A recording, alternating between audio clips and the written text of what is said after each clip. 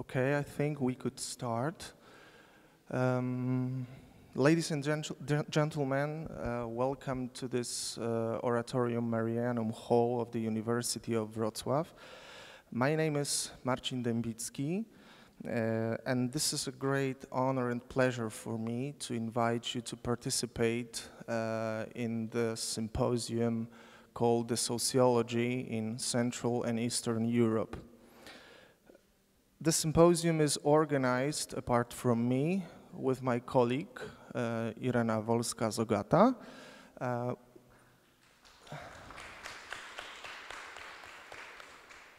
we both represent the same uh, Institute of Sociology, University of Wrocław.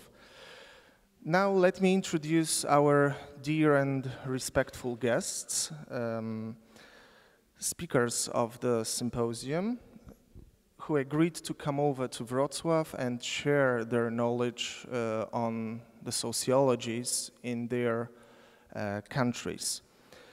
Uh, let me start from Professor Elena Danilova, uh, who represents, as you can see, Institute of Sociology, Russian Academy of Sciences, uh, by the way, excuse me for the mistake in the program because a professor's affiliation in the program is different and that's our mistake. So the proper affiliation is on the screen, uh, Russian Academy of Sciences. Uh, Professor Zuzana Kusa, who, who represents uh, Slovak Academy of Sciences. Uh, Professor Vil Bakirov, um, who is the head of the Ukrainian Sociological Association. And uh, then we have Professor Liutauras Kraniauskas, University of Klaipeda, member of the board of the Lithuanian Sociological Association. Ladies and gentlemen, uh, in Poland, we are on the eve of a big reform of uh, science and higher education to be implemented. Um, that's why we believe uh, the lectures we are going to hear may help us to understand the whole thing in the broader Central, e Central Eastern European context and maybe it will help us to embed our Polish sociology within this context to see uh, what problems are common, which things are different, uh, and maybe we'll try to find out something peculiar about the sociologies in our region, in Central Eastern Europe. Uh, finally, not to make it too long, this introduction, let me uh, say, let me give you three technical remarks. Uh, the first one, our speakers, our guests will have uh, 20 minutes each. Uh, afterwards, we'll have some time for questions and discussion, so of course, I hope we'll have a kind of dialogue or conversation here. Right after our symposium, uh, we'll have a chance uh, to see a bit more of the university building. Uh, so right afterwards, uh, His Magnificence, Rector of the University of Wrocław, Professor Adam Jezierski himself, uh, will take us for a walk around the most representative, the most, I would say, attractive uh, halls and spaces of the university. So all are welcomed. Uh, the walk will take approximately 45 minutes and will be in English. After the walk, uh, we'll have another walk uh, to another uh, venue of the Congress, uh, the Congress Club called Mleczarnia, uh, which is just across the Market Square. It will also be guided. So we'll have a guide. It will also be guided in English, and it will also take approximately 45 minutes. So again, uh, everyone is welcome. Um, the walk with, uh, with the rector will start, as I said, right after the symposium, so people interested in it uh, are invited just to join me after, the, uh, after our, our symposium. Okay, I think that's more or less enough. Uh, now let's uh, listen to our respectful guests. Um, we'll start from uh, Professor Vil Bakirov uh, with his speech, um, Sociology in Ukraine, Current Research Agenda. Professor, the floor is yours.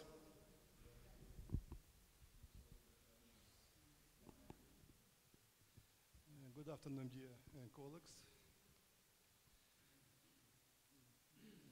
Many thanks to organizers of this uh, great event for inviting me and uh, for the opportunity to share some information about uh, what is going on in Ukrainian sociology at the moment.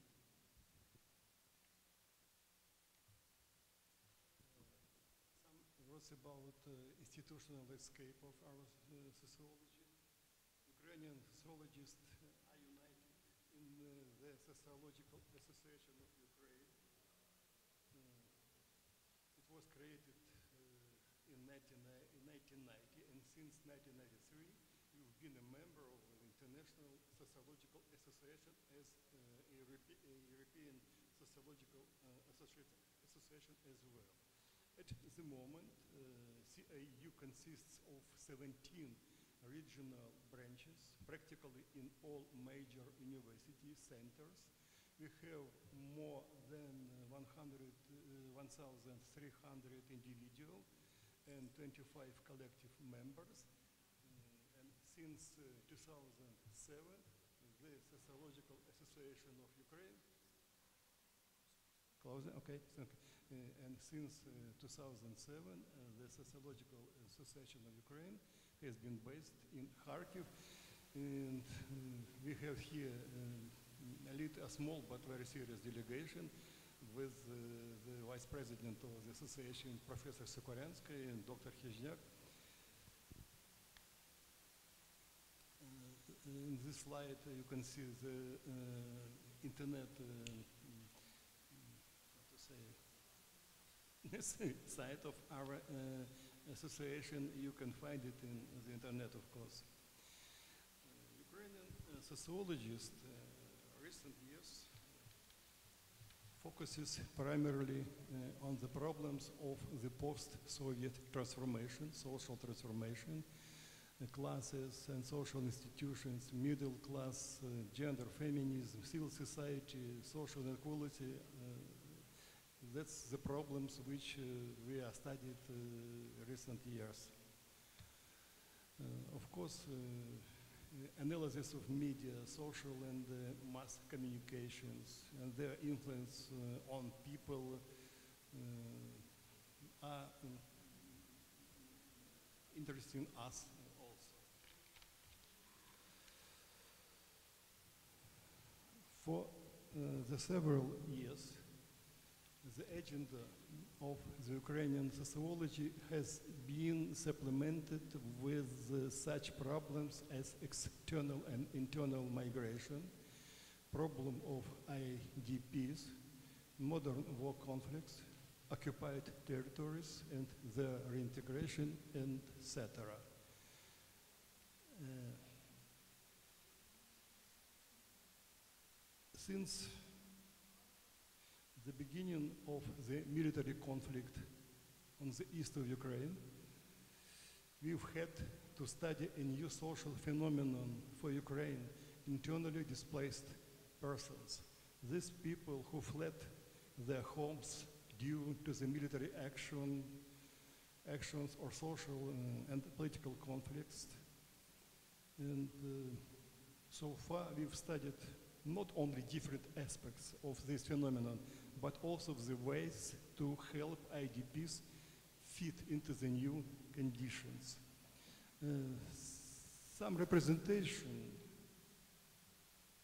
mm -hmm, some representation about Ukrainian uh, sociology research interest uh, gives uh, give uh, the titles of uh, three international congresses held in recent.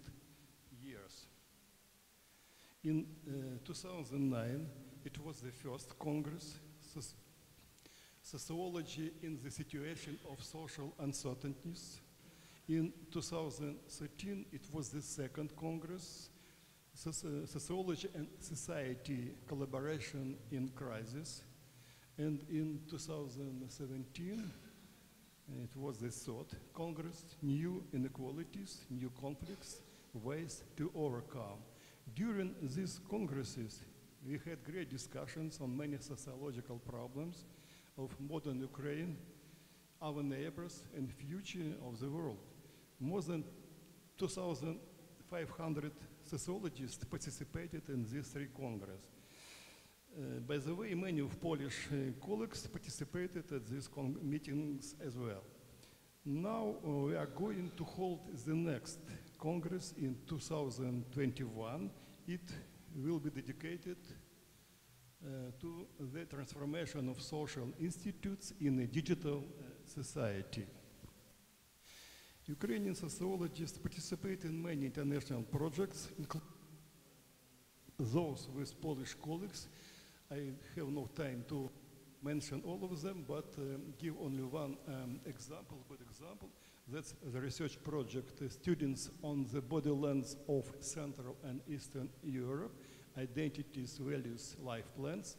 Leaders from Polish uh, side, Professor Zielińska, University of uh, Zelena Gora, and from Ukraine, Professor Lyudmila Sokoryanskaya, she's present at this uh, uh, meeting. Um,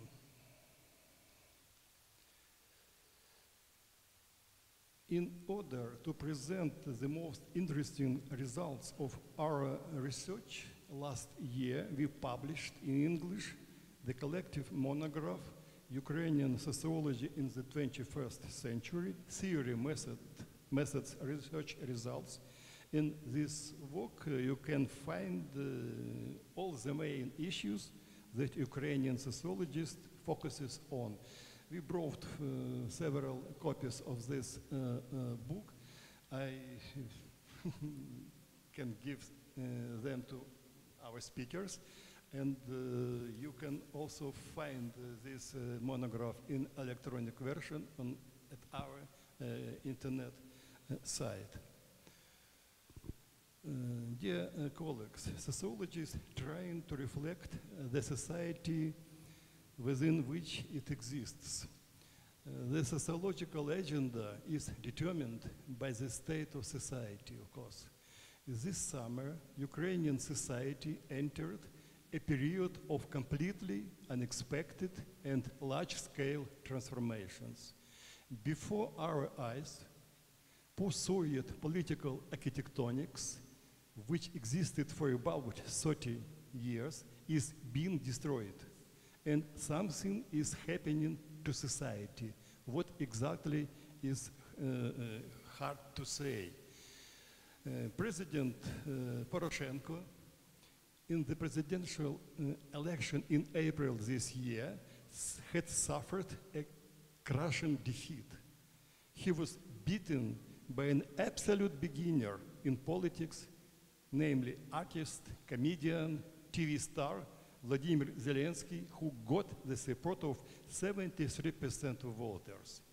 Analytics thought that in the forthcoming parliamentary elections, his party, party of Zelensky, servant of people, servant of the people, which had recently been registered and strictly speaking mm, is not a party, of course, would not gain the most uh, votes.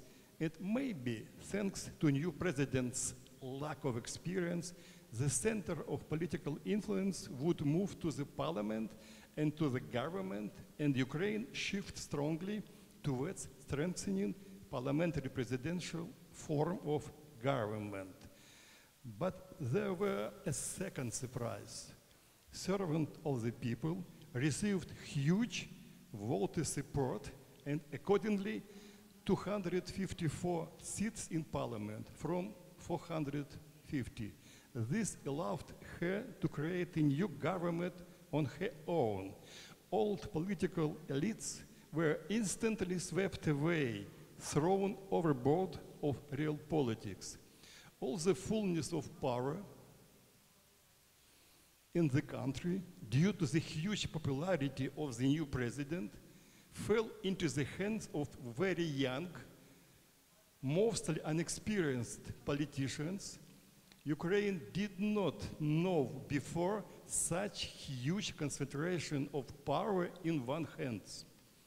Instead of parliamentary presidential republic by the constitution, the country has de facto become a presidential, or as they say, even a super presidential republic.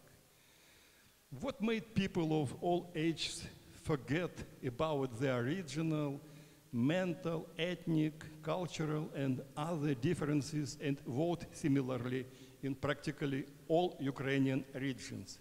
This is a big question for sociology. And I believe that the sociological agenda in Ukraine will be formed under the great influence of this issue. Laying no claim on absolutely correct analysis and corresponding judgments, I'll let myself express some preliminary considerations um, on the basis of the sociological research. The 2014 presidential elections, last elections, was held immediately after Maidan. Protests of hundreds and thousands of people, during which more than a hundred people were shot dead in the governmental district in Kiev. And then the then President Viktor Yanukovych fled to Russia. This protest was provoked by a feeling of deep indignation, uh, indignation about authorities who violated human rights and freedoms, behaved in a rude and uh, shameless manner. Those events were later called the Revolution of Dignity. In, in the spring of uh, 2014, Ukrainians had several important expectations that were instigated by the revolution of dignity and war. Unfortunately, none of them came true. Moreover, with time, these expectations transformed into five huge disappointments, which fact is supported by many sociological research. Disappointment why? One, war conflict was not stopped. According to all sociological surveys, peace is Ukrainians' number one priority. This slide shows that, but I don't ha not have had time to comment it. Disappointment two, living standards haven't improved. People understood that the war required some sacrifice and were ready to grin and bear it. But now, five years later, they see no real perspective for any improvement. They are dissatisfied with low income, high prices, and the lack of proper conditions for doing business. Disappointment three, after the revolution of dignity, despite its big name, the society didn't feel more dignified. Large-scale corruption involving a lot of representatives of ruling elite is still plaguing the country these figures support my uh, statement. Disappointment four, people in Maidan fought against outrageous social and property inequality. And yet today, the rich are even richer and the poor poorer. Forgive me, but I'm not able to, to, to um, illustrate these uh, positions with figures in these slides. Disappointment five, inconsistency and inefficiency of proclaimed reforms. The government declared about some serious reforms directed at transformation of the major social institutions, court reform, law enforcement reform, medical reform, education reform, and so on. Basically, none of them yielded any decent results. All these frustrations resulted in mass protest voting at the presidential election, people, people voted not so much for a new candidate as against the old one who in their eyes embodied the power that didn't meet their expectations and disappointed them. The voters faces the choice, Ukrainian voters faces the choice. Whether to prolong post-Soviet neo-patrimonial status quo, threatening to never end, or to make a step towards new risks, uncertainty, and unpredictability, but with some, mm, some chance for change, for radical reformation of power and all this despite the military confrontation with Russia. Uh, time is limited. Uh, I see, I understand. Uh, let me uh, end with these two conclusions which uh, I can uh, give you. Uh, the revenge of pro-Russian forces and Ukraine's return to the orbit of Russian political and economic influence are very unlikely, if possible at all. A new generation of people has emerged with new, modern, post-materialistic, as they say, views who reject the social mm, model demonstrated by Russia who could see and estimate Western standards of social organization with their own eyes. Conclusion two, it's also very unlikely that the Ukrainian society will lock itself in the shell of traditional nationalism, whose proponents are few and concentrated in several western regions of Ukraine. Uh, and, uh, dear friends, uh, the last mm, mm, mm, saying. Uh, speedy integration of new and new segments of Ukrainian society into the realm of internet, involvement with new media, mass carriage of higher education and general growth of uh, the population's educational level give hope for a more and more active formation of a new political culture for a more mature civil society, and finally for a replacement of political elites. The situation de depicted above is very unstable and very uh, dynamic. It will be changing rapidly and in an unexpected way. Ukrainian society found themselves in a real bifurcation point bifurcation point. And that is very interesting for sociologists. And that will be inspiring Ukrainian sociologists for developing the research agenda in the nearest future. My time is finished. Thank you very much for your attention.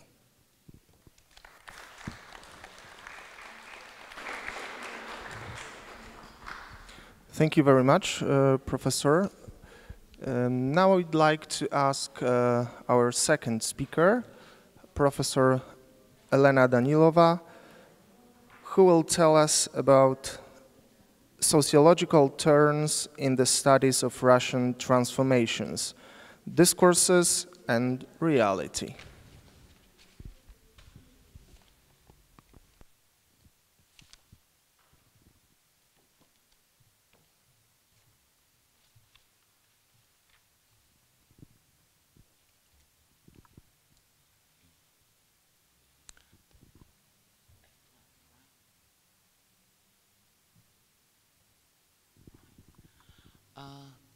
Hello, dear colleagues, and uh, it is really, really big honor to have a speech in such a magnificent, you know, building and hall, and especially uh, with this sort of trying to find, to find how sociology may help humanity, maybe, how to, you know, this kind of uh, thoughts come to my mind because we are sort of magnificent say. But anyway, we have to talk about problems and uh, issues which could arise from our sociological study and reflections of the history, uh, what we actually passed through 20th uh, century in Russia and the beginning of 21st century.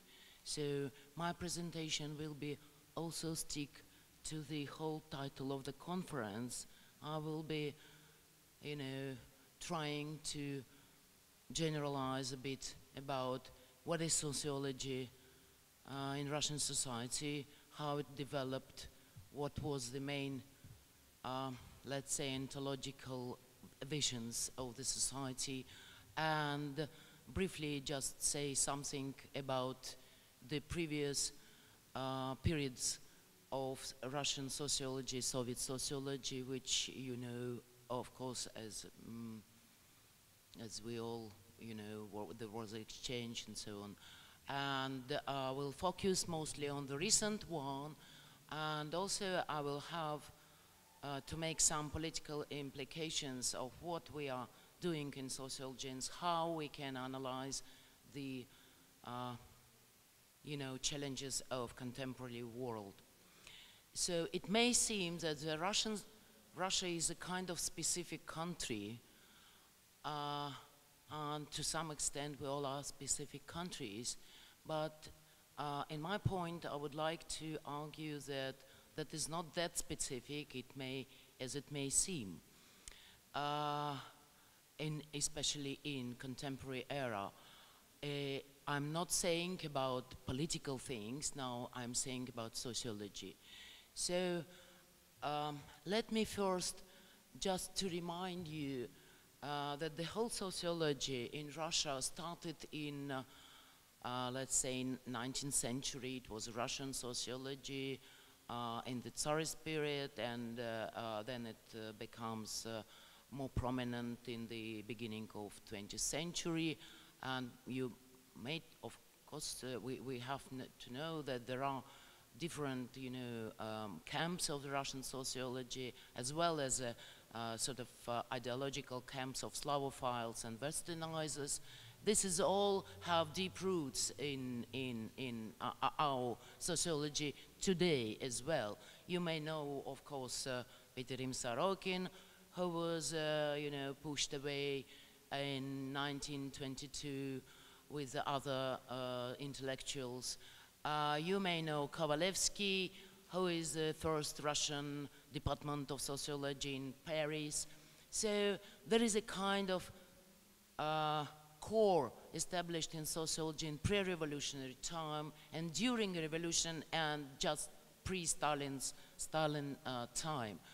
As you know, and we all know that uh, in Stalin periods, uh, sociology was forbidden. There was no uh, such a discipline in the university, and also the reflections upon society was done within the kind of philosophical or historical materialism and Marxist, uh, this uh, Marxist model of uh, Russian orthodoxy, Russian Marxist orthodoxy even uh, uh, the, the, the, links with the Frankfurt School uh, didn't influence a sort of critical approach of the Russian sociology at that time.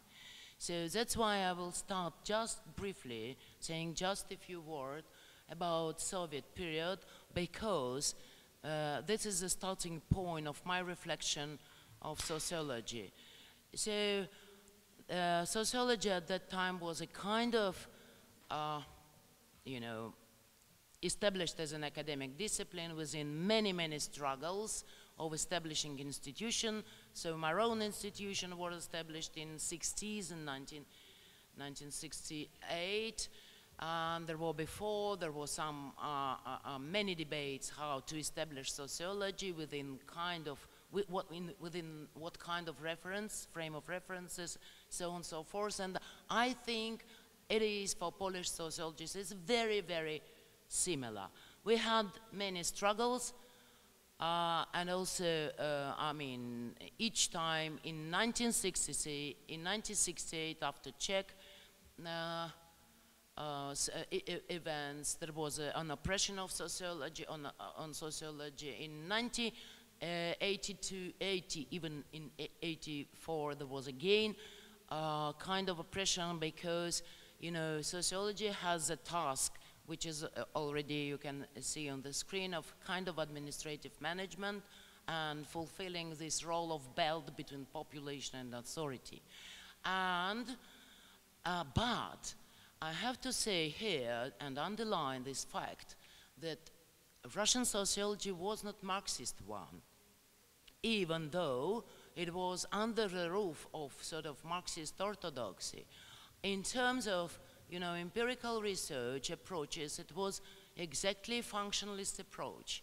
And as you know, Merton Parsons are uh, were visiting Russia, the Soviet Union, uh, were acquainted with, uh, Russian colleagues and uh, you know, this generation of 60s, uh, uh, talked to them personally. So this was a kind of area. And the, the, the, idea of sociology of that time, anyway, was a kind of modernization pro project which could be efficiently implemented in the USSR. So the uh, idea and ontology of sociology was a complete structural and positivist because we have to know what we are doing, we have to control, we have to predict all this kind of things we know. So it was implemented in the uh, uh, in sort of research agenda and research methodology and tools. And of course, the main uh, uh areas of sociology was uh, quite common. We have all social structure, institutions, uh, institutions, and unfortunately here we can't see, okay, and uh, other things uh, which is quite similar. So uh, here I would like to point that we really see the uh, uh, picture of the society as a structural thing which could be somehow managed.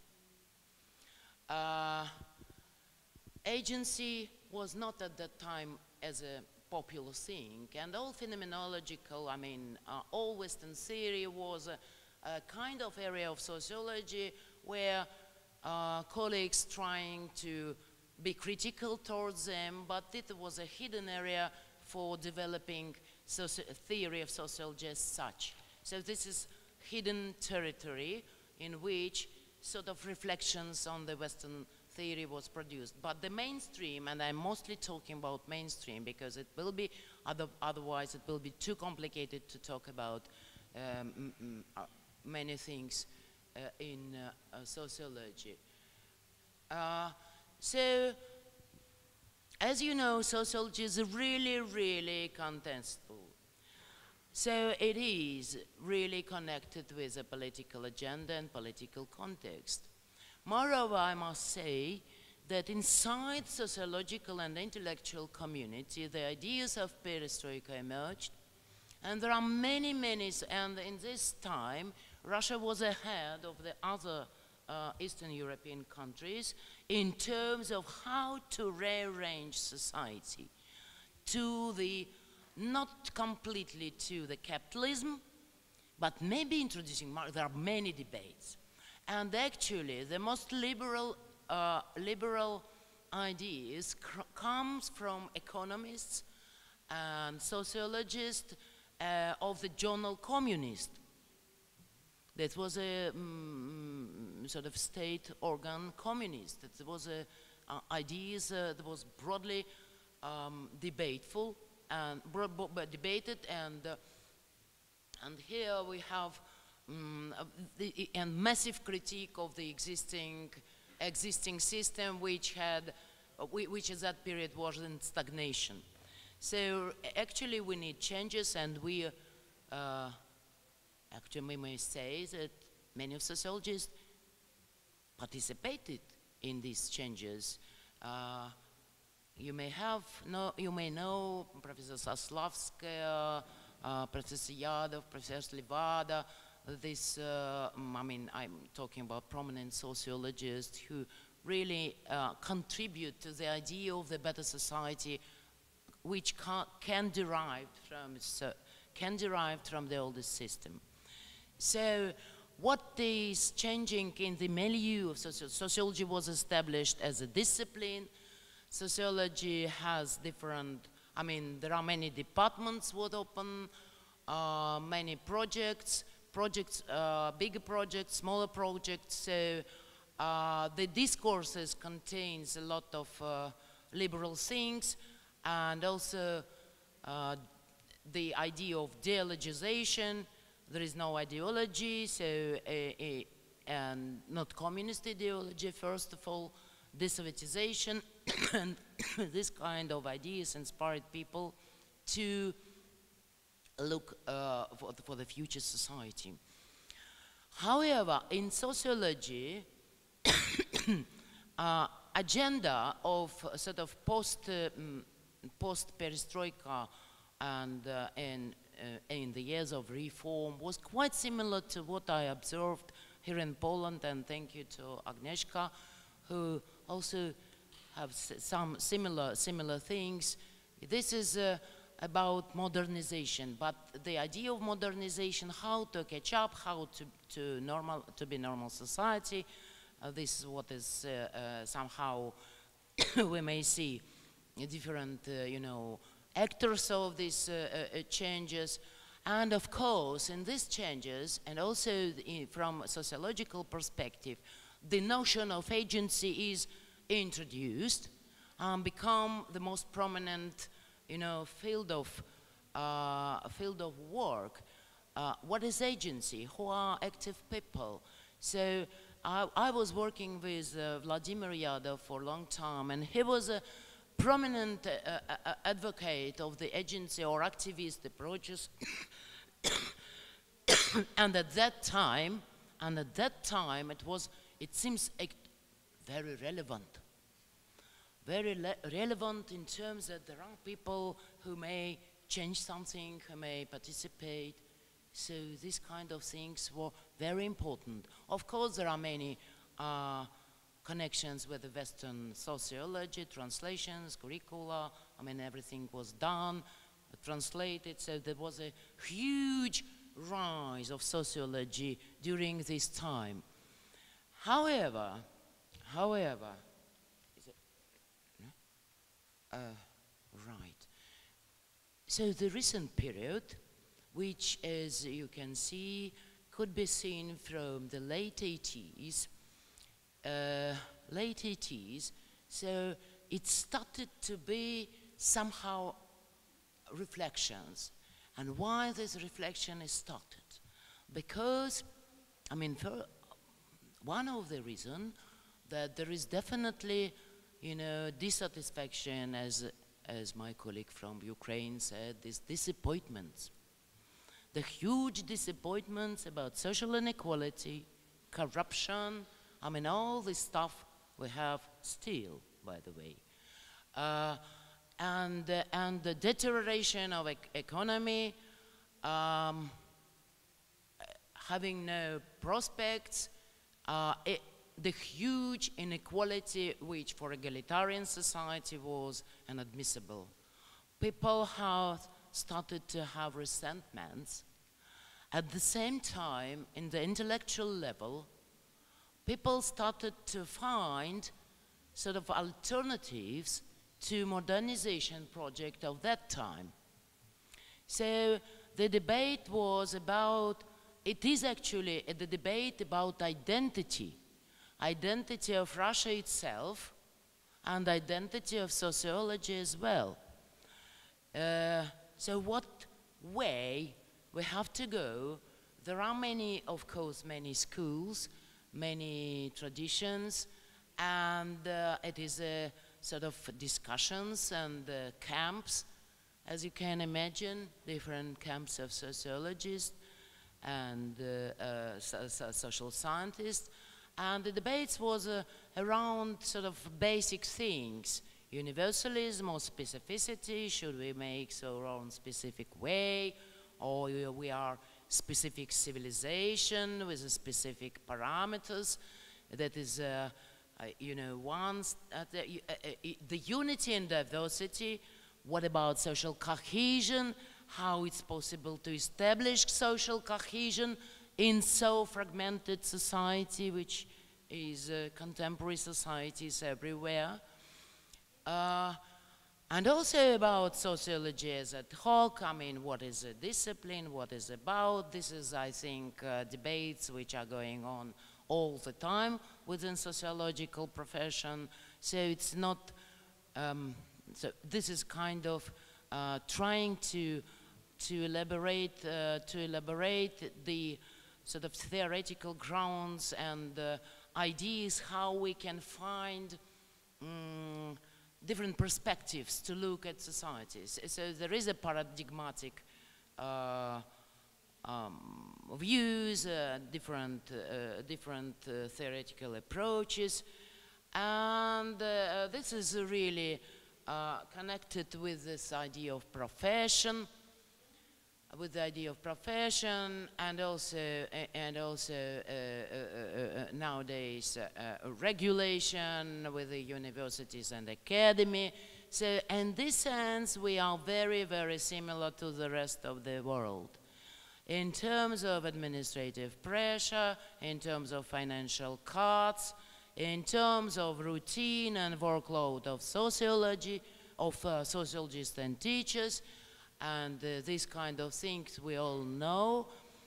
And, but this somehow reflected in the idea that sociologists, except some of, you know, intellectual um, individuals are making their routine work and also they are in sort of frame of specific requirements of society, of the model. It's a, uh, I may say this is neoliberal model because sociology now is a corporation and, is and university is a corporation and ruled as a corporation with all kind of uh, consequences uh, uh, we may notice everywhere.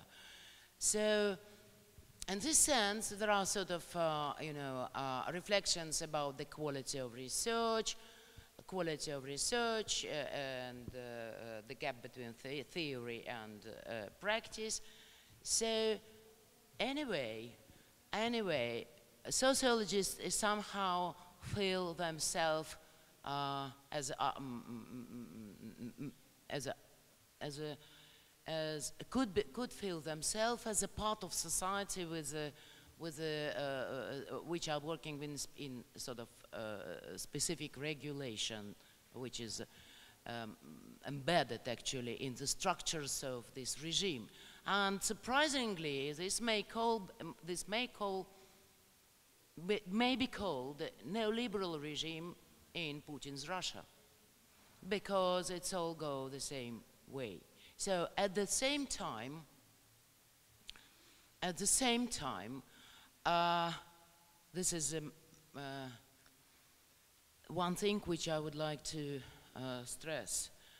Uh, uh, again, we all understand that, that there is a kind of stagnation in society and we have to find the way.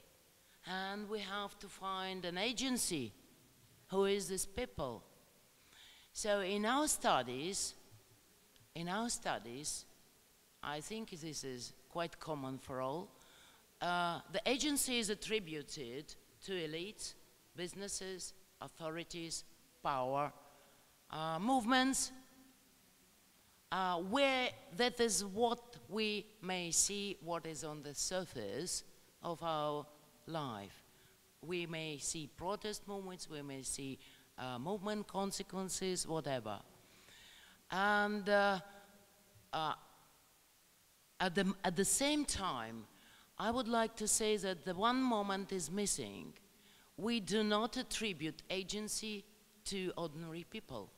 It somehow happened that ordinary people who are living absolutely ordinary life, who are in outside of politics, who are in our surveys they are uneducated, they have low income, they live in villages and small towns. These kind of categories were always used in survey saying that there is a rest of population without attributing any agency to this kind of population, by the way, which is majority of population. In Russian society, there is a big, I mean, there is a big share of poor people. Big share of poor people. Poverty is one of them. But there are another thing. In Russian societies, there is a huge gap, huge inequality gap as well.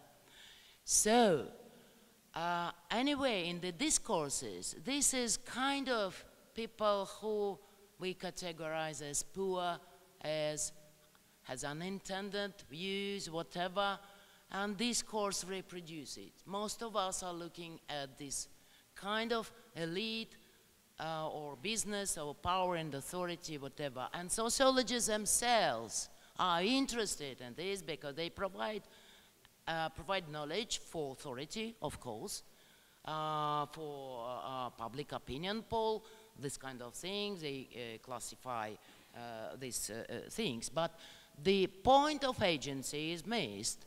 And what happened actually, that these ordinary people, uh, in fact, has an agency because they vote. And in this sense, we have surprise.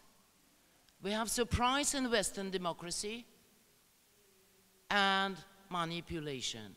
And we have manipulation in the Russian society because that what is the part of legacy, part of legis, uh, uh, legitimation of uh, Putin is that he gradually changed his rhetorics and applied to this part of society in his languages, in his language, in speeches, in and that makes him justified.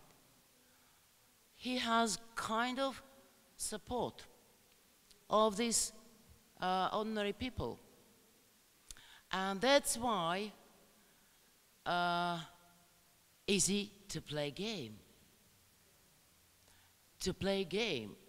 We have already, we have, as you know, many of us, we have external agenda and internal agenda.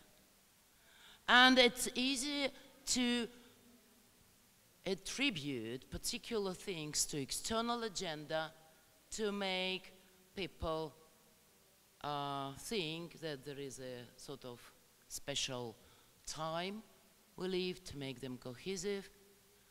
And also about internal agenda, there are debates how to, it's more, more, more or less um, mm, more debates, there are different camps, but anyway, there is no measures to reduce inequality, there is no measures to reduce, I mean, there are measures, but, you know, it's all, it's all not that effective as it might be. In this sense, uh, in this sense, so things are left as it, as it is now, and uh, and this is a kind of uh, thing we, uh, I think we have to think about sociological agenda and what kind of, you know, um, research or uh, ideas uh, uh, could be could be uh, could be done in terms of understanding understanding these ordinary people. There is no big protest in Russia, but it does not mean that people are satisfied. That is a big point. And we have, for example, I have a friend of mine in France, in Paris, I just, yes, just to say some words about yellow jackets, that's people coming into the streets. And they also are quite ordinary people with sort of. But as we can see, as we can, I, we, see, we saw this during the conference, I saw a very nice slide, that there is no political voice, there is no political party which can sue them. So the same things could be said about Russia. There is, there is of course, uh, uh, uh, official and oppositional official system and unsystematic opposition, but the, the, the main thing is mistrust into politics. So we have to know how they live. That is the, end. Thank you.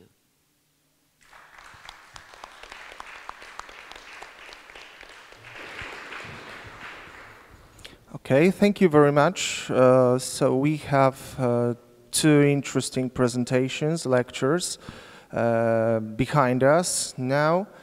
There is time for Professor Liutauras Kraniauskas, uh, with his lecture of a quite intriguing title, Lithuanian Sociology as Production of Contested Knowledge, National Hobbits, Global Wizards, and Administrative Orcs. Please, this, the floor is yours. Thanks a lot, Martin. Uh, and I would like to express my gratitude to organizers inviting here to share my ideas about sociology. Usually sociologists like to talk about a lot about sociology, so I'm the same like you. And of course, uh, the metaphors of pop culture, uh, which are on the title, are implying, just from my point of view, just a normative dimension, uh, but they are trying, how to say, to say where the evil and where the good is lying. But uh, from my point of view, the most important uh, words are adjectives, not nouns. Absolutely no. Uh, okay, uh, first of all, I would like to say that uh, two days ago I really enjoyed presidential session during this conference because it was just like uh, seeing how uh, seeing a performative space of collective identity where the presidential speeches were trying to produce and reproduce mythologies, main mythologies of sociology. They were talking about the idea of emancipation, discourses about social change, civil society, public sociology, sociology of, of underdogs, I call, or unprivileged people. They were trying to bring idea of normativity back to sociology and say that you have to always think about your business what are you doing in normative uh, way. Of course, it is not a joke what I'm saying because uh, this uh, uh, ritual performance of professional identity, it could not happen otherwise because the speeches of presidents who are keeping symbolical power, they're always trying to empower us. It is like in support group of Homo sociologicals anonymous that you are trying to find motivation why you're here in, uh, how to say, this society and what are you doing. Uh, my ideas, uh, which I'm going to present about Lithuanian so, sociology, are well grounded in a, a so-called sociology of sociology. It might sound a little bit weird or bizarre, but this idea, which was uh, promoted by Alvin Gouldner in his uh, book, uh, The Coming Crisis of Western Sociology, that usually if you, are, if you are a sociologist, you have to be very reflective about yourself.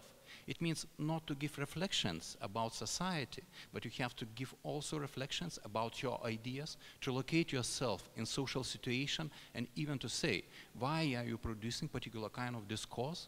Why are you producing particular kind of ideas? And connect those ideas with the situation in which you are working. It is the first level of reflexivity. And of course, Gouldner said, there is even the second and the third uh, level of reflections it is, means that you have to be reflecting your reflections of yourself. It means stepping up more and more and more, and he said that it is a nightmare of sociological imagination, that you always have to position yourself within ideological uh, field. Uh, at the moment, I will leave, uh, how to say, talk about ideology, but I will bring uh, later on, when I'll show some uh, data. Uh, when we are talking about sociology, I think that, uh, of course, uh, like uh, uh, any other social science or any other uh, academical discipline, it is in the field of tensions. And tensions are, how to say, produced by different discourses.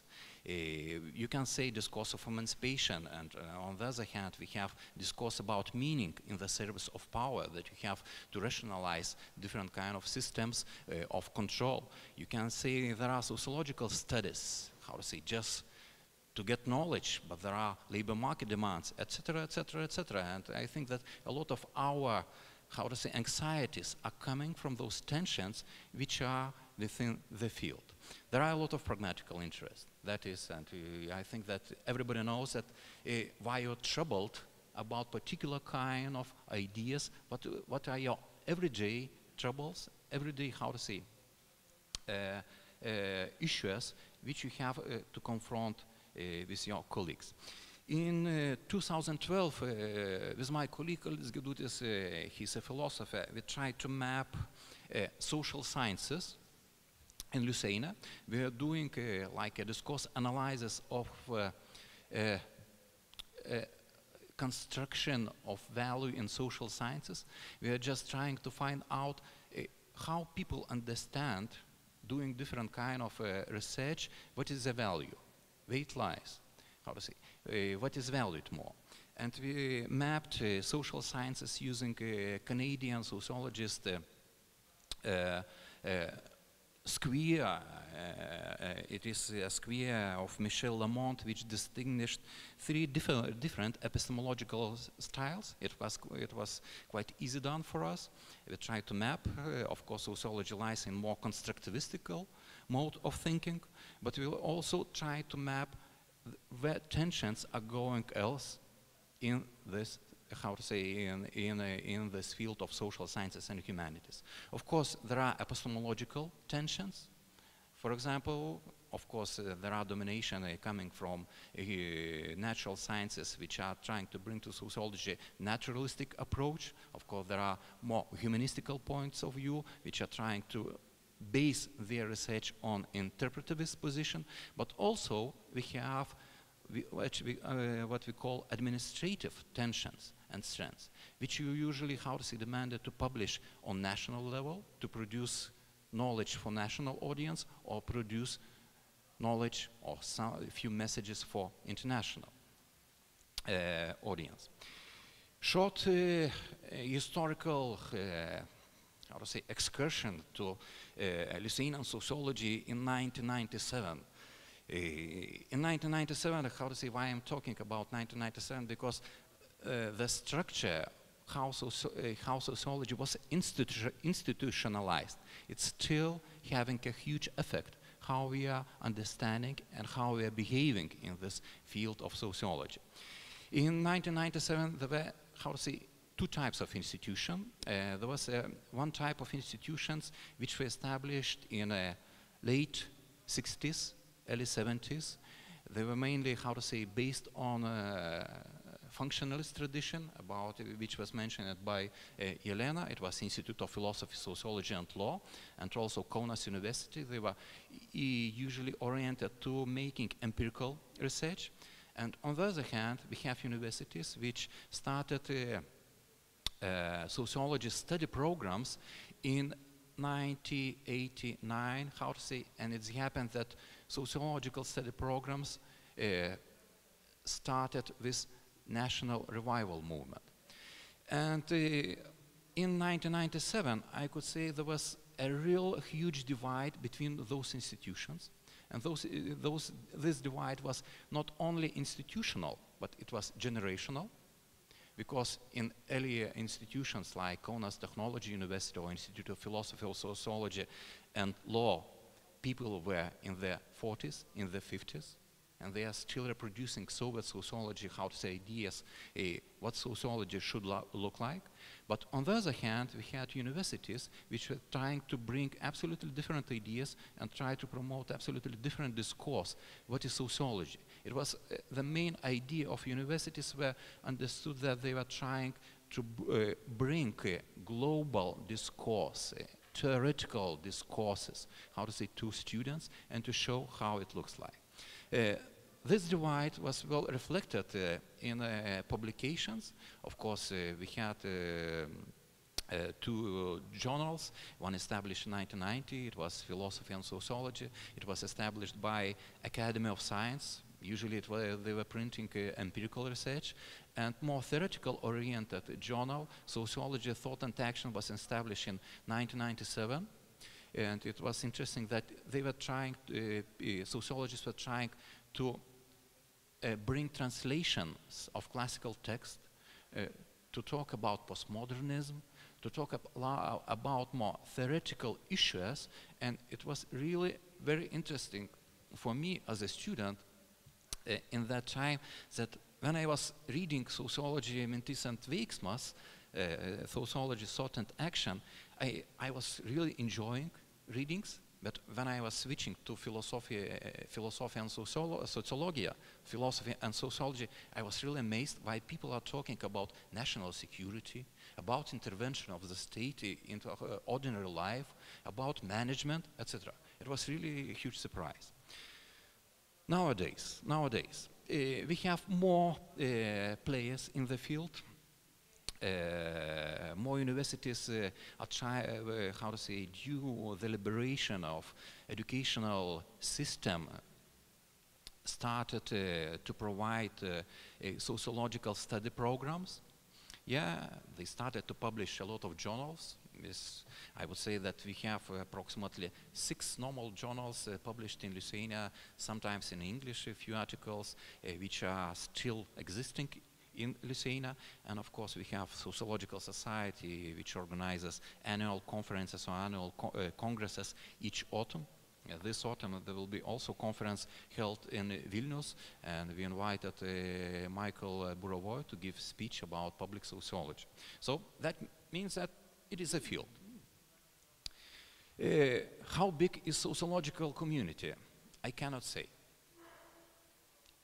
It doesn't matter that I belong, how to say, to the board of Lithuania Sociological Society. I don't know how many sociologists are, but uh, just to give idea uh, from different figures, just to imagine how sociology might be compared with other social sciences or uh, humanities.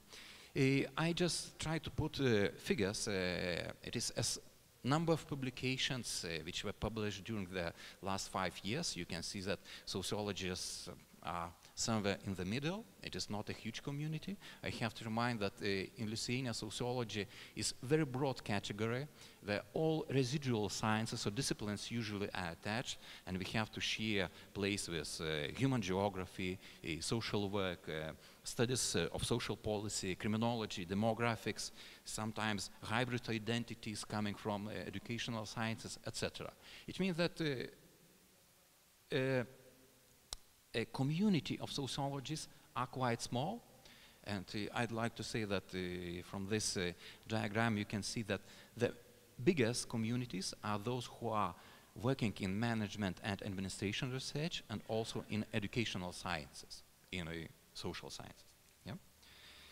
Uh, reproductive behavior of sociologists, it's quite okay. It is like just number of PhD theses uh, for already 25 years. It is quite stable.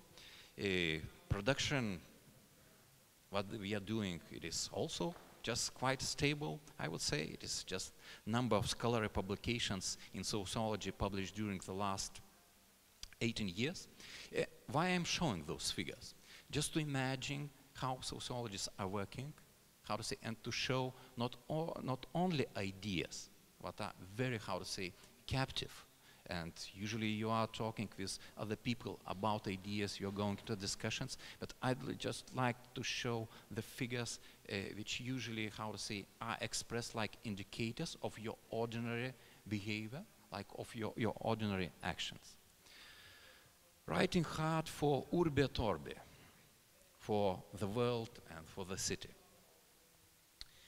Eh, of course, a, a very interesting debate uh, in uh, social sciences and humanities in Lithuania, uh, how much you are, you are publishing internationally.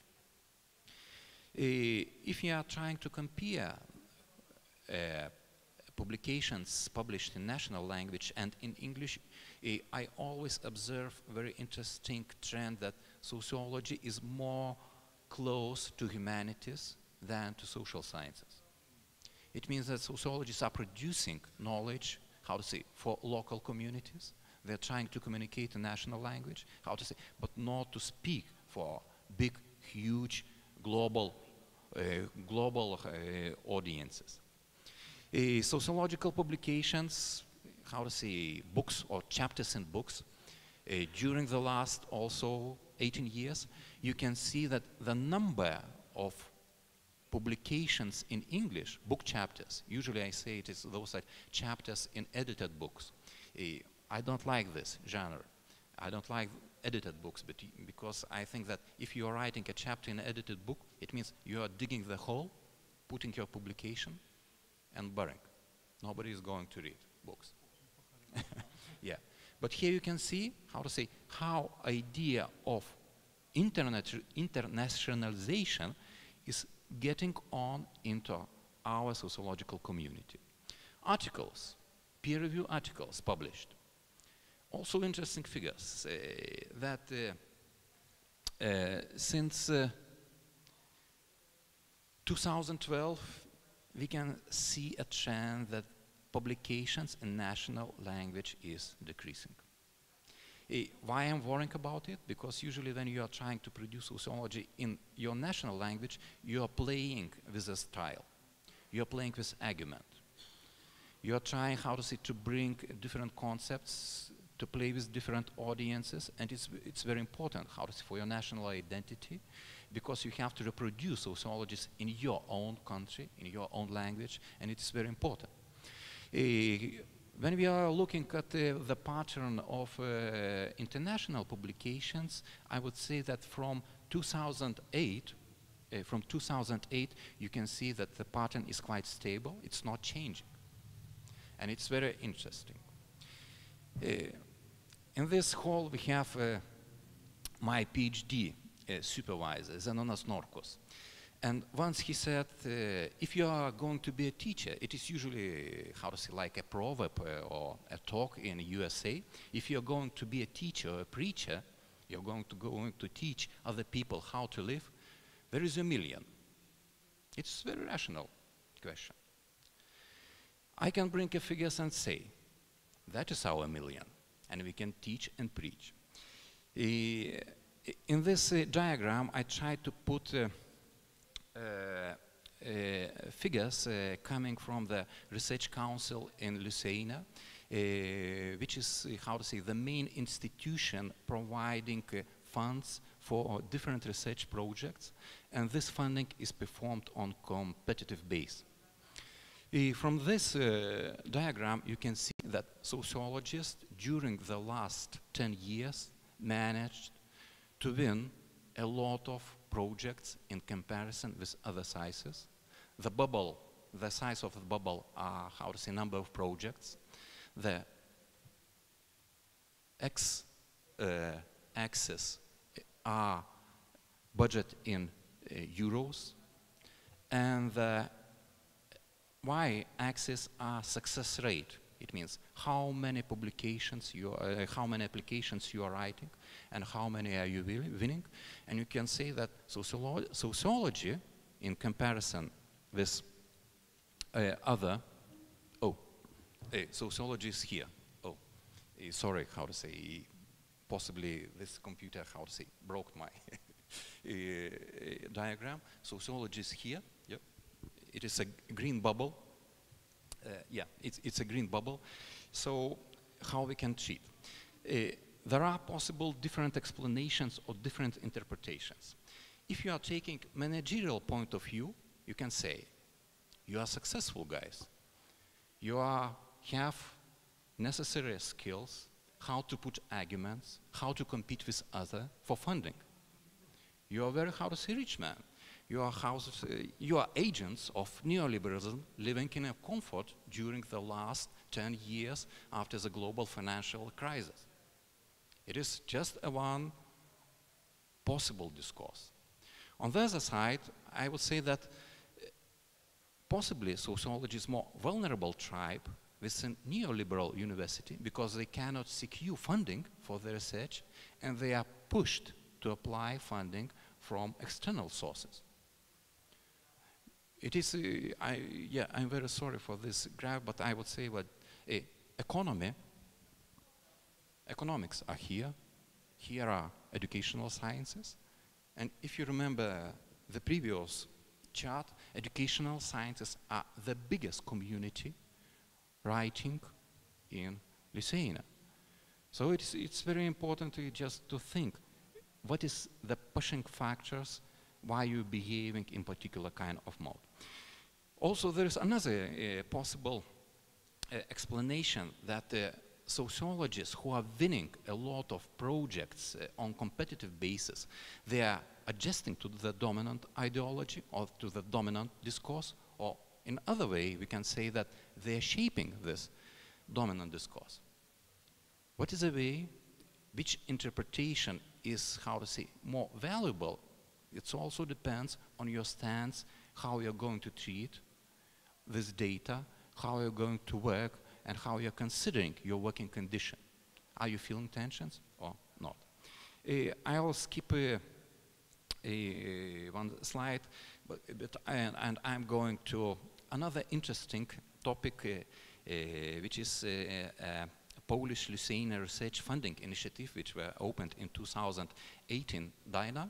the Lithuania Research Council is participating and also Narodowy Center Nauki, Narodowy Center Nauki, National Center of, of Sciences, who are also trying to perform or to open funding opportunities for different institutions in collaboration, international collaboration. And uh, it was very interesting that the interest in this initiative, uh, which were opened uh, for the first time in 2018, we got 81 research application of social sciences. I would say it's quite huge. Uh, 14 applications were supplied by different sociological teams. Those are connections of different universities. Yeah, you can see the list who are participating. And strangely enough, from those 81 research applications, there were just four winners. It means success rate is 5%. When you are thinking about those 5%, you always can understand what is a psychological effect of funding scheme which might affect your understanding and your definition. 5% are good, 29 are not so good. Is it right or is it not? I would say no. 98% are still good. But how to say, idea that you're losing, it is like symbolical humiliation of your identity coming from different kind of fin financial understanding from ideology uh, which are, how to say, produced by uh, different uh, uh institutions. Uh, uh, in this slide, uh, which I skipped, I tried to dissect a so-called collective mind of Lithuanian sociologists. they were providing applications. I tried to visualize different keywords just to find out how it how it uh, looks, how people are thinking, uh, in what kind of categories. And uh, from my point of view, that many categories, they are reproducing all mythologies of sociology of underdogs and unprivileged social groups. You are taking care about gender, you are taking care about aging uh, people, you are taking care about child, but also you are trying to bring not how to say you, but sociologists are trying to build idea of the policy. It means that idea of the policy is rationalization of patronizing system of administrative control. You're trying to give a state to the state, to the administrative, how to say, administra administrators, uh, systems, how people might be managed and controlled. And of course, when you are trying to take this position, you are securing your symbolical power through paternalistic stance. You are taking care, you are in a more normative position, but from my point of view, you're always subordinating your academical freedom for this neoliberal state.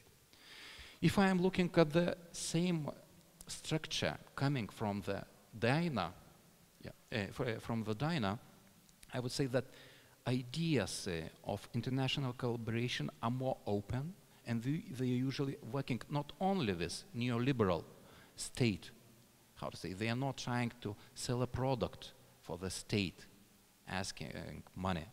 But people are interested in more social processes, what is going like a dynamics, and state is somewhere left behind. It's quite interesting that uh, the only one project of sociologists were among four winners. And uh, from my point of view, it was also a good indicator how this neoliberalism has been working. Uh, it was a, a project, a collaboration between private institution. In Lithuania, it is public policy and management institution. It is just like think tank, idea of the think tank, house organization, which are trying to produce policy. And from the Polish side, it was SWPS University, it is a private university uh, of social sciences and humanities. Yeah.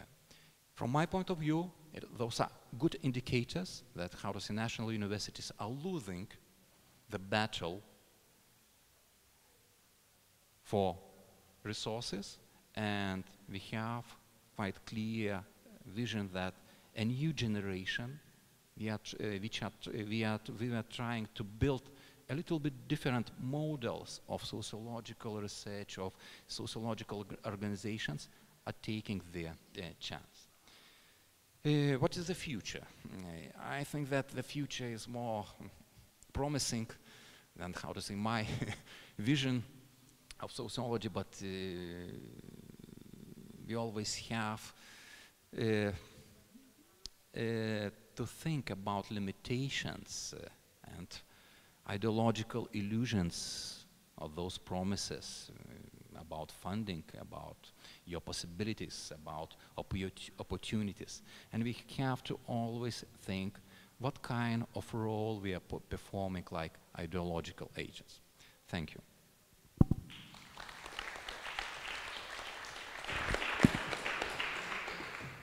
Thank you very much. And now we have uh, next presentation, number four, by Zuzana Kusa. Sociology Without Successors, Sociological Institutions, Publications and People in Slovakia.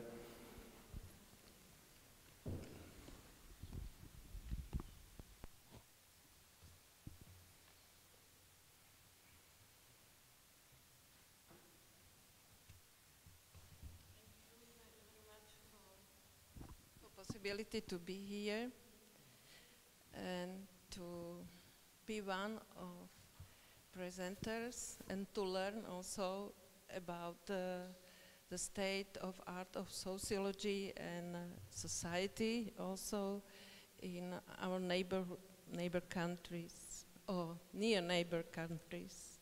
So um,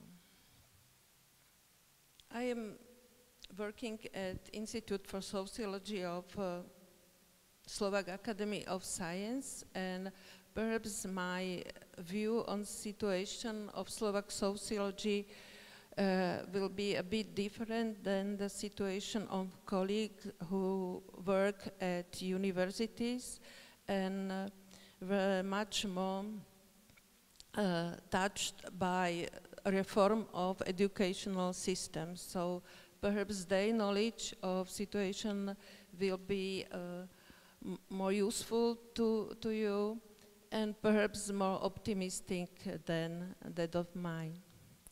I will speak about institutional uh, developments, about uh, personal development, orientation of research and consequence for uh, surviving uh, of sociology in Slovakia. I, as we need to look at the world and life and also life of sociology uh, from the bright side of it. So first I will always uh, try to look it uh, from this bright side or at the bright side of sociology. So if we compare years 1990 uh, and 2019, uh, we can um, we can uh, find evidence of development of sociology uh, in Slovakia, especially institutional development. We have much more department of sociology and many uh, new departments, new in comparison of 1990, uh, of social work and politology. We have still uh, two training centers for PhD students, which are crucial for uh, reproduction of academic of soci sociology. We have one sociological journal more, but the first older one, Sociologia Slovak Sociological Review, is uh, indexed in International Social Index and uh, so is a very demanding side of publication. Uh, Slovak Sociological Association, SSA, was a local organization in 1990. Uh, there was uh, Czechoslovak Sociological Association uh, working in former Czechoslovakia, which was a member of uh, uh, International Sociological Association, uh, but it uh, operated only on the territory of Czech, Czech lands of Czechoslovakia. In the end of common state, our uh, so Czech and Slovak sociologists commonly applied for membership in ISA, uh, and no one wished to be the only successor. So we uh, entered the uh, International Sociological Association shoulder by shoulder in uh, friendly cooperation in 1993. Uh, the number of uh, private uh, research institutes grew also strikingly. There was no uh, social, uh, social research data archive in that time in 1990 now we have Slovak archive of social uh, data which is accessible free of charge. Now uh, also the funding opportunities increased immensely. And we have one uh, academic funding agency which which uh, funds uh, research projects uh, which are uh, based uh, only on uh, research interests in elementary or fundamental research, no pools or from outside. So, very briefly about our two uh, strong, uh, strongest institutional infrastructure pillars, Journal of Sociolo uh, Sociology, uh, Sociologia and Slovak Archive of Social Data. It is uh, important perhaps to know that uh, Slovak Sociologia, Slovak Sociological Review published two issue in English language and publication in this journal is um, uh, of interest of many uh, sociologists and social scientists from abroad. At present, or in last 10 years, uh, the about the half of all publications uh, in this journal were not from Slovak sociologists or Slovak political scientists, but from our colleague from Czech Republic and also from other countries. Uh, Sociologia has very demanding anonymous peer review procedures. Perhaps it is uh, also difficult to publish there for Slovak colleagues because the refuse rate is about 70%, so it is really uh, demanding uh, and strict to preserve uh, scholarly standards. Now something from the dark side of uh, institutional life. It is the budget, uh, state budget from funding uh, research and education in general. Uh, you can see that the percentage of the GDP in Slovakia is uh, very low, low perhaps uh, a bit similar to that of Poland but both uh, uh, budgetary uh, share or percentage share are almost half of the European Union average. So the funding uh, of research and education is a general problem in uh, Slovakia and in some neighbor, uh, neighbor countries and this problem uh, touched not only sociologists but uh, also many other uh, research uh, disciplines. You can see uh, in red field the number of sociologists at the Institute for Sociology, Slovak Academy of Science, that is my uh, institute, uh, how the number of uh, sociologists working in academic, in this academic institution dropped from 39 in 1990 to only 17 in uh, 2019. This uh, personal politics uh, uh, is also motivated by the need to preserve wages in sociological institute and academy of science on a somewhat comparative, uh, competitive um, uh, level with the wages in a private institution and to have chance to to uh, to hold uh, sociologists in the academy.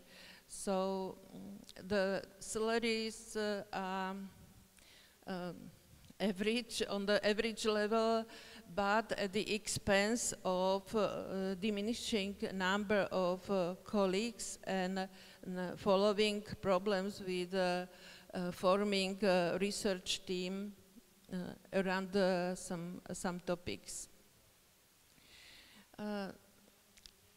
the next, not very um, uh, bright uh, information about institutional development uh, of sociology in Slovakia um, refer uh, first to the 90s, where several uh, public research institutes affiliated to ministries uh, were cancelled. There were many positions in companies for sociologists cancelled. Uh, the majority sociologists uh, worked as a, a, firm or company sociologist under the uh, communist regime. And uh, uh, during the economic reform, the companies first of all get, got rid of administration and so sociologists were, were, were on the floor. Uh, among the administration. And uh, as a consequence, the uh, very strong section of Slovak Sociological Association, sociology, section of sociology of work, ceased to exist in the 90s because nobody worked there. There was also uh, internal brain drain uh, from sociology to social work and politology uh, departments, uh, which uh, uh, really, really um, develop very intensively in this period and also to private sectors.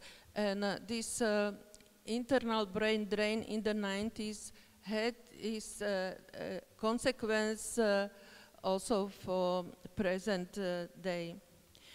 Uh, now, when we draw structural funds from European uh, from European structural funds, um, we have new job opportunities for sociologists in analytic centers of um, of ministries to make uh, public policy uh, more evidence-based, European Union promotes uh, uh such uh, analytic centers, but uh, working in these centers is um, more or less not publicly visible and the communication with sociologists working in these analytic centers uh, Uh, almost uh, doesn't exist and they uh, do not take part in, uh, for instance, sociological uh, association events or do not publish in sociological journal. as I al also already suggested by the data from Institute for Sociology, the problematic uh, part of Slovak Sociological Association is the number of people inside sociological institution. You can see uh, uh, the number of academic sociologists uh, uh, which are uh, very low. um, there are there is important to add or fair to add that those who are scattered at uh, other social science departments are not uh, uh, lost uh, in that department. My two distinguished colleagues who participate uh, participate in this Polish Sociological Congress are so-called scattered, but one is the director of the Institute of uh, uh, Prognosis of Slovak Academy of Science, and one is very important and influence uh, scholars in sociological uh, sociology of uh, social inclusion. Both of them are very important, important figures in this uh, field. Uh, it is uh, Richard, uh, Richard Filčák and Daniel Škobla who are here. Thank you to say uh, this. Um, there, uh, there are uh, common critical uh, as, words about the 90s in Slovak sociology, and these critical words concern the, the empiricist nature of uh, uh, doing sociology in the 90s, which was uh, also um, strengthened by the idea that the transformation situation in post-communist countries is a very unique, unique um, historical situation and the duty of sociologists is to collect the uh, as, uh, authentic data of this uh, very unique situation. And there was uh, no interest or understanding that this situation was not at all unique and that uh, we could have learned uh, very much from privatization and reform processes in many European so-called Western democracy. And lack of this uh, theoretical knowledge um, uh, makes Slovak uh, sociology prone to taking uh, interpretative frames uh, from other sciences, uh, especially from, from political sciences, but very often from the think tank experts from with neoliberal orientation.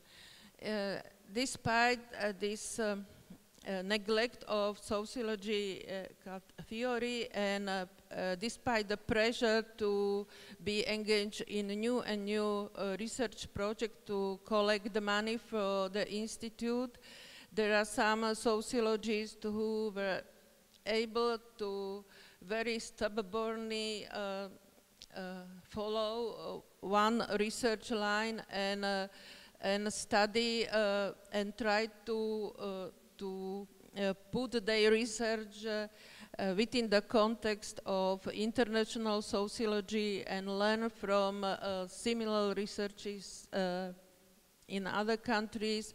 And so these are colleagues who are now able to publish in international journals or international volumes uh, in, uh, this, uh, in uh, the first rank uh, publishing house or also published individually like the, for instance, book of my uh, younger colleague Miloslav Bahna, Cross-Border Care, published in such a publishing house.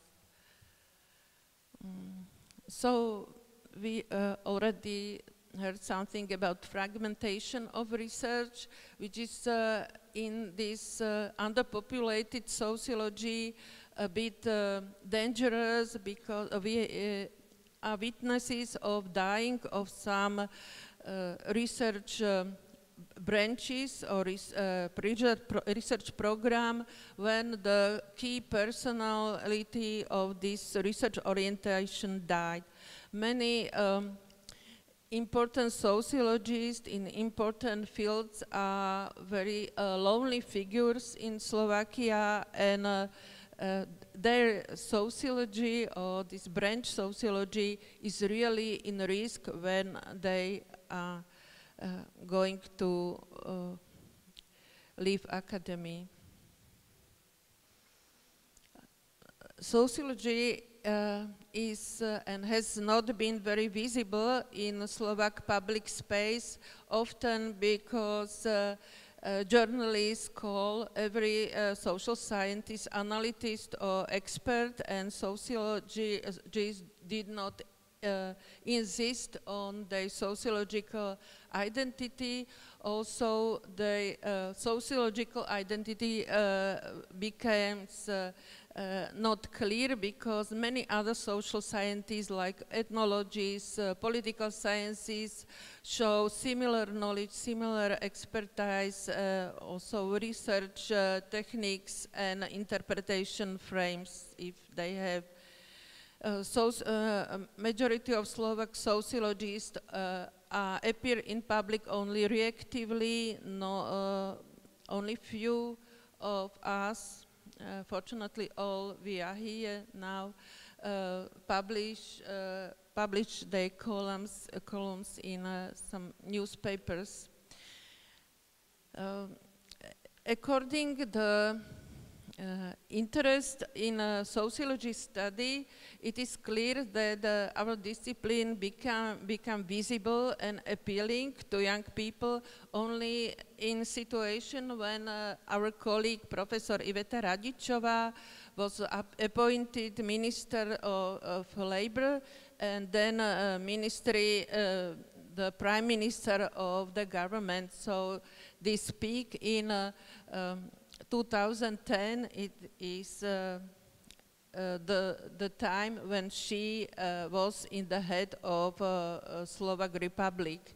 And then uh, the uh, interest in study sociology come down. So th there is also intervention of demographic trends that um, touch also political sciences. You see in this blue frame that political sciences are much more appealing to, uh, to public uh, and uh, uh very sad uh, numbers are that from 2018 where only less than 100 Slovak students apply uh, for sociological study on the territory of all republic and uh, only 35 were uh, enrolled in the study. There are sociologists who study uh, or young people who study sociology in Czech Republic or uh, more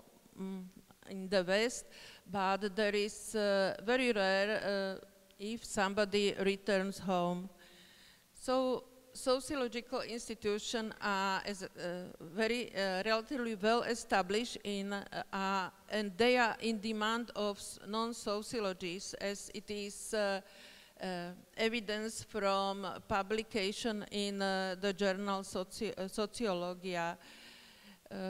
but sociological institutions which are populated but, uh, by sociologists are not winners in scientometric uh, uh, assessment because we, uh, the problem is not, uh, not publishing in foreign, uh, foreign well-ranking journal. Uh, public profile of, of, sociology is fuzzy and there is uh, declining uh, interest in sociological study. So there is a possibility that sociology uh, in Slovakia uh, will survive, but as an institutional infrastructure which will be uh, maintained by people who uh, did, not, uh, did not study sociology. So we will survive, but they will be not us. Thank you very much.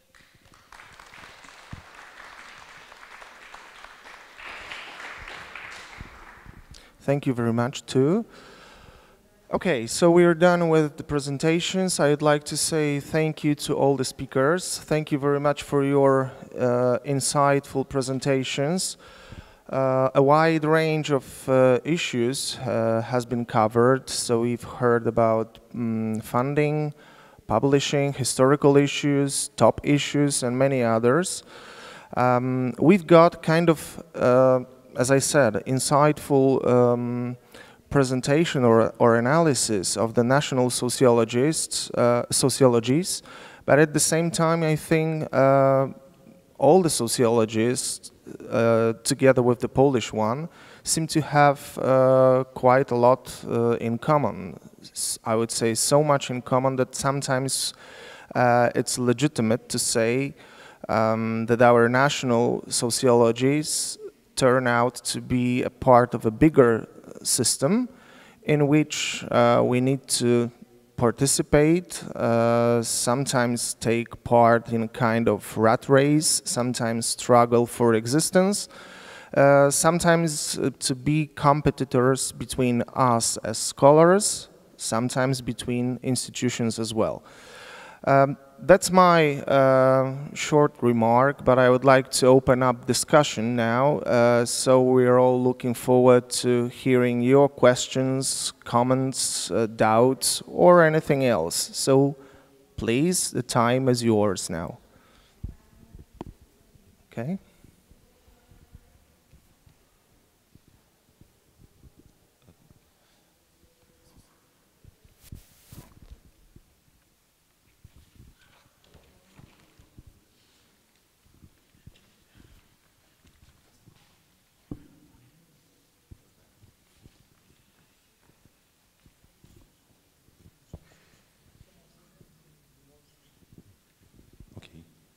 Okay, thank, thanks for some uh, uh, excellent presentations. I come from uh, Romania, uh, in fact from the largest university, public university in Romania, Babeș University in Cluj. And uh, I am amazed to see the extreme similarities between the dynamics in, the, in other countries compared to developments in, in Romania. It's in terms of the public visibility of sociology, it's very low. The number of practitioners here is rather low. Pressures coming from uh, all sides, uh, chronic uh, uh underfunding and lack of uh, uh, resources. And my question would be that it's obvious that regionally we are facing similar problems and it's clear that there are some common processes at play that bring all these countries in the region and bring sociology in these countries under uh, such severe uh, stress to the point that we witness a massive, a massive deprofessionalization inside the, uh, the discipline. What happens in Romania and probably in your countries is we essentially survive because we teach human resources, not, uh, uh, not sociology. what, which do you think are those processes that uh, have brought us here? And uh, beyond that, uh, do you think maybe that it's time to take a more anti-disciplinary stance in the sense that uh, we acknowledge that uh, the pressures brought about by uh, all the things associated with neoliberalism like an emphasis on efficiency, management, increased productivity and so, so on should be acknowledged as such as problems for the for the discipline and maybe we should strive beyond the national framework to do something to do something together and to redefine this uh, uh, discipline along different lines. The end result might even be very radical, not having uh, uh sociology or having something completely different that we term sociology in the end. Thanks.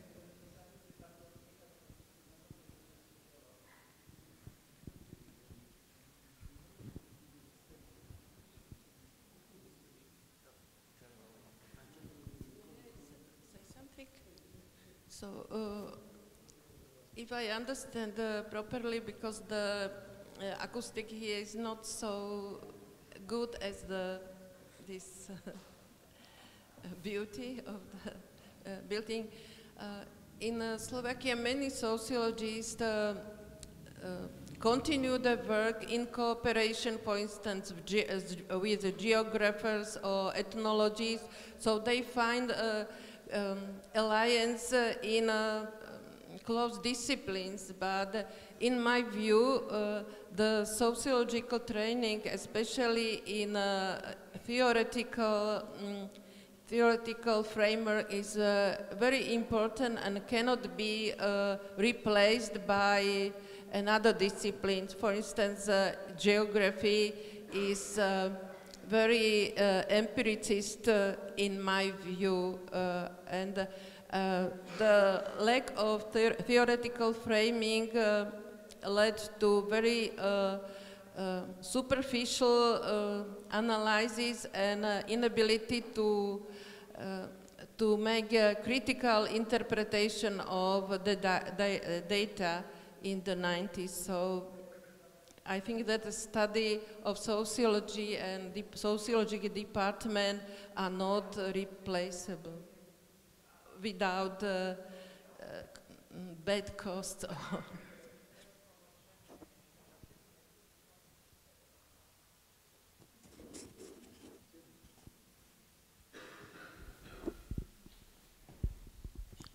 Any of you would like to comment upon the question?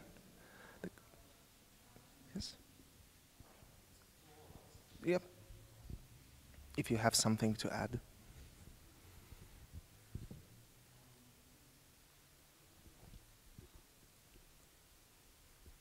Uh, I think that uh, uh, the interdisciplinary point is very important now. And uh, actually the policy is how we, how we combine sociological knowledge and also technology. This is uh, the huge challenge of uh, um, this artificial intelligence and uh, the brain and the science of earth, whatever, and pollution, ecology, ecology, whatever. But um,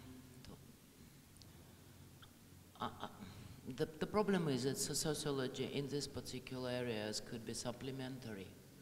It's, uh, the idea is that it could be like supplementary to finding out the consequences, social uh, situations around the particular things. Uh, but in this sense, there is a danger that sociology itself, as a humanist project, are in sort of danger.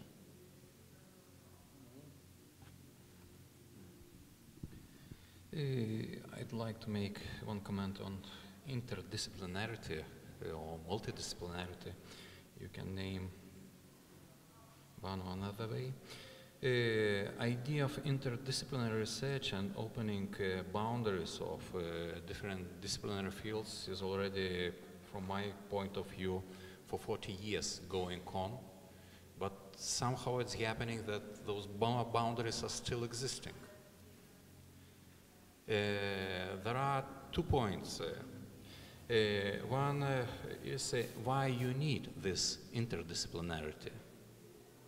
It is a huge question usually when we are talking, for, for example, with uh, natural sciences, and you are saying, okay, we are doing sociological research, please join us, uh, please bring us uh, different gadgets or statistical procedures, models, just to play with our data, they are saying, come on, you're trying, how to say, to exploit us.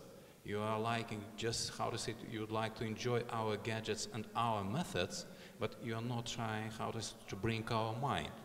You are asking us to do, a, how to say, dirty work, how to say, to making publications. There are a, a lot of resistance. On the other side, uh, it's happened for me already for 10 years uh, to be involved in uh, different expert panels when we are uh, evaluating projects, ap- applications for research projects. In Lithuanian Research Council, in 2010, uh, 2012, there were decision to organize different uh, stream of uh, projects which were called multidisciplinary. And the main problem for the experts were that they could not find arguments or criteria how to evaluate those, criteria, uh, those uh, uh, projects. They always were trying to push responsibility and they're saying, we don't know how this project will work.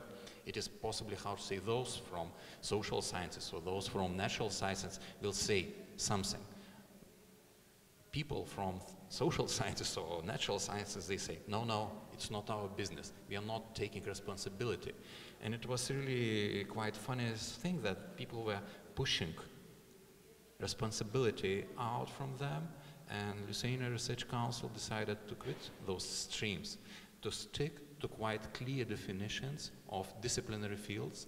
And of course, we, are, we cannot forget that we are working in very clear legislative environment that by the law you have clear division of division, a clear division of, so, of any scientific activity. So you always have to think not only about intentions coming from the sociological community or community of scholars, but you always have to think about this legislative strains, how to say, framework uh, of uh, uh, rules, of regulations, which usually are defining what you have to do and what you have to be.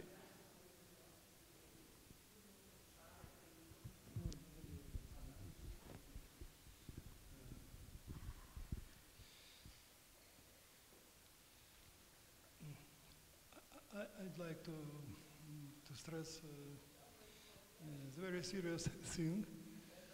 Mm, we have heard uh, from our Slovak colleagues that uh, in uh, Slovakia they are going to, um, to survive as sociological institute without people, without persons who are especially trained and educated as sociologists.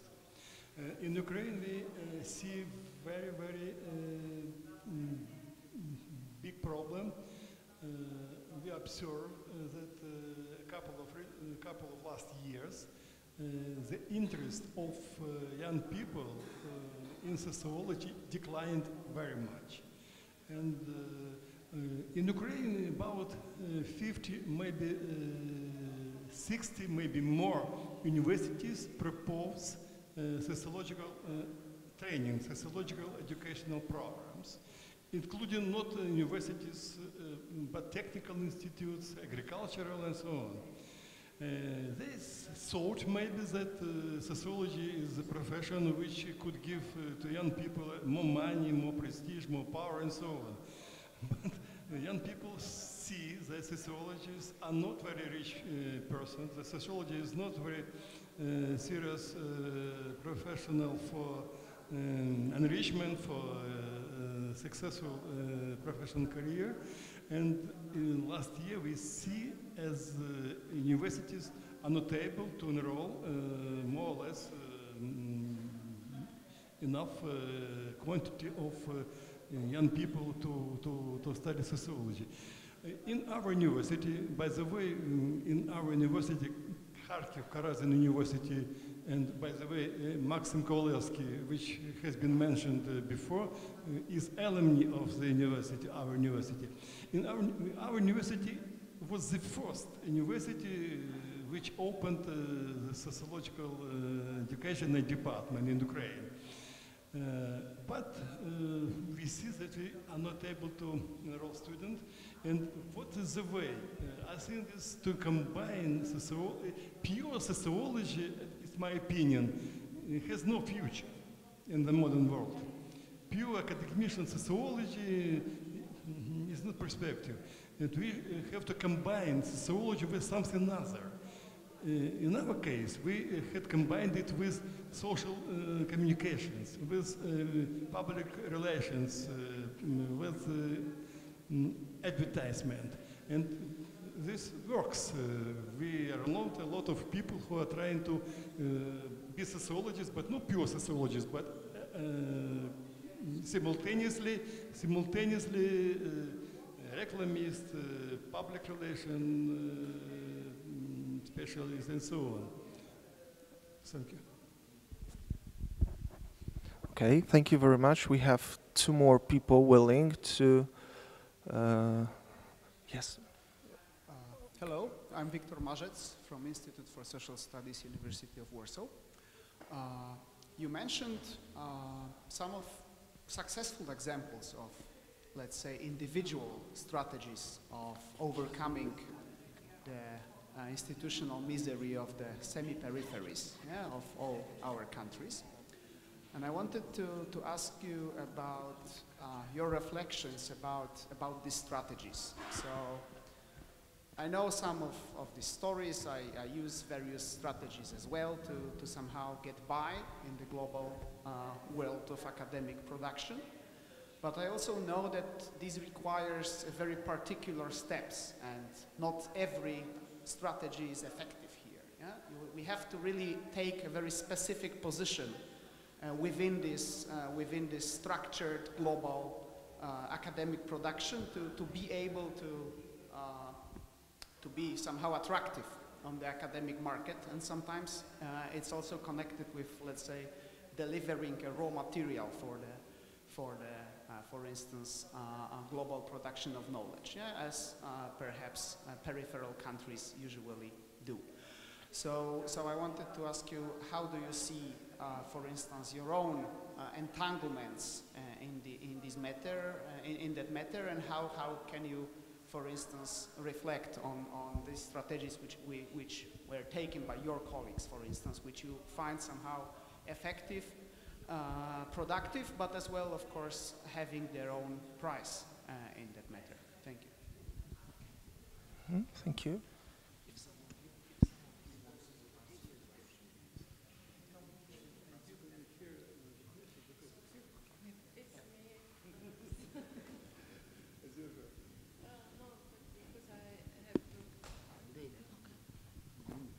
So thank you for the uh, question. I can uh, now uh, use my PhD qualification biographic approach in sociology. so, and also observation, qualitative method. So two of my colleagues who are present at Polish Sociological Congress uh, uh, did their PhD study abroad and uh, perhaps made enough um, not only uh, personal contact, but uh, uh, got uh, many personal uh, challenging patterns of how sociological work should proceed, what is important and what is the less important. And they also they are keeping contact with their um, former colleagues from PhD studies and new colleagues uh, from the sociological discipline they choose to uh, cho- chose to um, to do research in.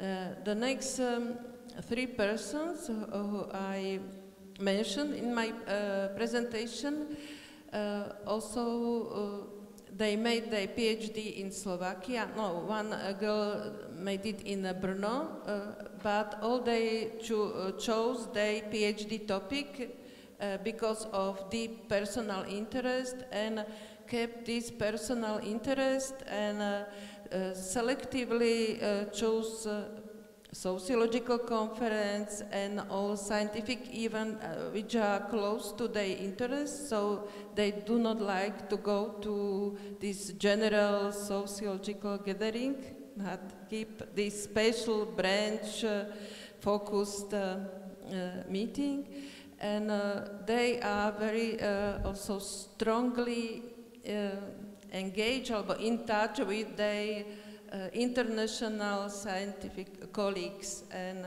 so they swim in sci- international scientific sea with them. So. Do they cover Slovakian topics or, or not? What is, the, what is the pattern of topic choice? Uh, all of them uh, study empirically Slovak topics. Uh, for instance, uh, not only Slovak, because one uh, of them studied the migration uh, of Slovak abroad, so it also concerned these receiving countries. But all them, uh, of them are theoretical, um, uh, well, well, how to say, very, very well developed. and so they are able to speak about more general problems and uh, Slovak data, Slovak situation is one of the the example of uh, general tendency or general sociological uh, problems. So uh, this is important that they are really theoret theoretical high and able combine several theoretical approaches. So for instance, test the relevance of sociological approach to the selective problems and really it needs a different type of engagement in uh, and study of sociology, not only uh, collecting data, because data about Slovakia are really not interesting without uh, uh, a strong theoretical interpretative uh, frames. Okay, thank you very much. Uh, our time is slowly coming to an end, but I think we have two more people uh, willing to ask the question. Uh, but my request would be to make the question relatively short, and so should be the answer, okay? Yes, thank you very much, Izabela Grabowska, SWPS University of Social Sciences and Humanities. Thank you for this lively panel. And I really liked, especially Ukrainian and Russian presentations, because they show that they, they, that we have, we are dealing with societies which are true life laboratories.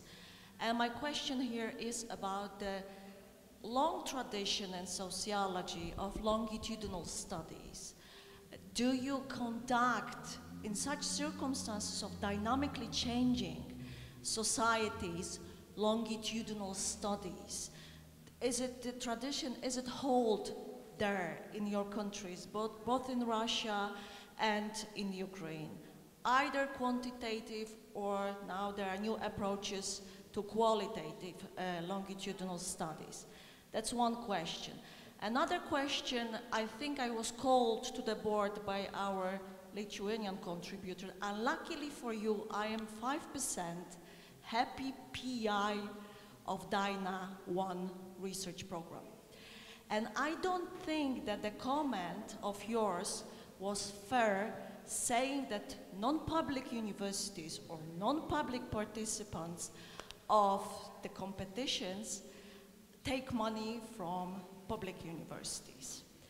Please look at our scientific performance. Top, A plus, A across the university. Our partner in Lithuania, which is of course Policy Institute, is also very, very qualified. And we do our taxpayers to the budget which DAINA program was created. So I know that you teased uh, the audience with this argument. And I really appreciate your talk, but I don't think it was a fair argument. Thank you very much.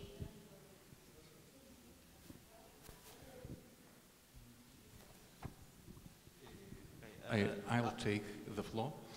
Uh, that is my argument. Of course, we are getting into ideological battle. You are representing one ideology, I am representing another ideology. But the main idea, it is just showing, how to say, figures, it's to send a quite clear message that organizational structures which are working, how to say, and in which we are, how to say, imposed to work uh, or, or, framework uh, ideological in which we are working, sometimes it might be damaging. And when you are winners, you always, how to say, drinking champagne. If you are losers, we always crying and complaining. But who is better, you or me? I always say, both of us are quite good enough, but there are not enough money or funding coming from the state. It means, how to say, we are neglected like a community of sociologists of social sciences. That is the idea. Not to say that, how to say, we are uh, jealous that you won and we lost. No. It is just idea that we have to switch our uh, focus from competition between us to those who are organizing such kind of competitions. And we have to make a criticism of the state, but not of criticism of, how to say, a, a small institutions or uh, uh, those who are organizing fundings. That was my, my, my idea. I always thinking that any idea which is going for competitive funding, it's always worse to be funded, despite the fact how it's bizarre, how it's weird, etc. Because usually you are belonging to particular kind of community which is producing those ideas in which they uh, believe. I strongly believe that uh, the field of higher education and research is, will go a very rapid transformations in the next five years, that a lot of uh, smaller institutions will be the most important, important players within the field in comparison with all universities. That is.